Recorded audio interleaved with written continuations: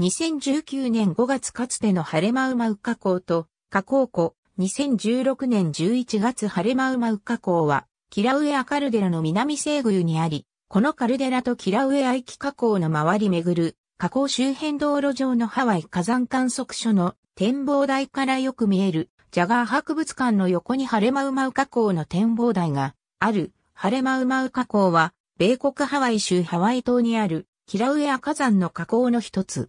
キラウエア火山の中心部にある、キラウエアカルデラ内にある河口である。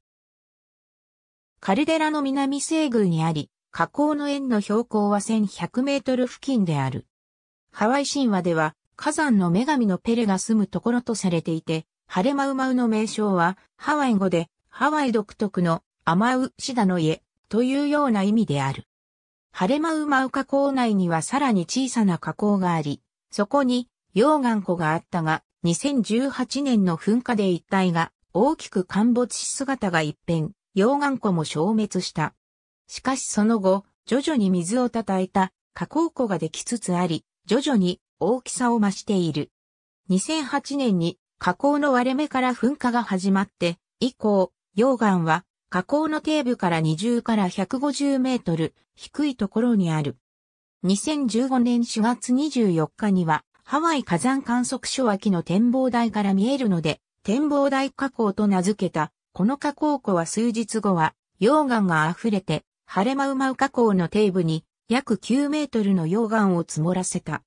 その後、溶岩はこの火口湖の円を超えることはなかったが、2016年の爆発と2018年の爆発ではまた円を超えている。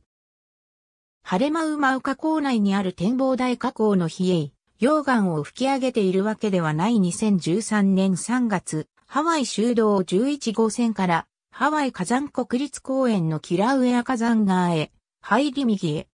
ビジターセンターと蒸気吹き出し口を過ぎた後、晴れまうまう河口とキラウエア駅河口の周り巡る河口周辺道路へ入り、特にジャガー博物館があるハワイ火山観測所の展望台からよく見える。ありがとうございます。